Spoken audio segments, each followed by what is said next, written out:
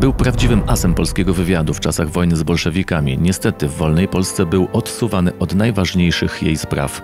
Ignacy Matuszewski był zwolennikiem zapobiegliwości przed klęską i przewidywał ponowny rozbiór państwa oraz zdradę sojuszników. Po wybuchu II wojny światowej, będąc kierownikiem w Ministerstwie Skarbu, zorganizował skuteczną ewakuację 75 ton polskiego złota na zachód i ocalił polskie skarby z Wawelu. Potem był skrupulatnie rozliczany, np. z kwot za herbatę lub za to, że zbyt dużo zapłacił tragarzom, którzy pomagali w transporcie złota. Był zagorzałym przeciwnikiem zbyt dużej ingerencji państwa w gospodarkę.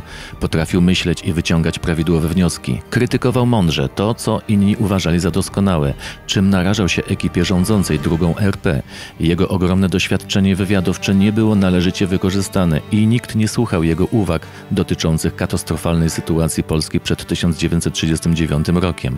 Ignacy Matuszewski był nie tylko pułkownikiem wywiadu wojskowego, ale również współtwórcą Kongresu Polonii Amerykańskiej, członkiem Międzynarodowego Komitetu Olimpijskiego, pisarzem i przyjacielem poetów z. Jego żoną była pierwsza polska złota medalistka w rzucie dyskiem na Igrzyskach Olimpijskich w Amsterdamie w 1928 roku, Halina Konopacka.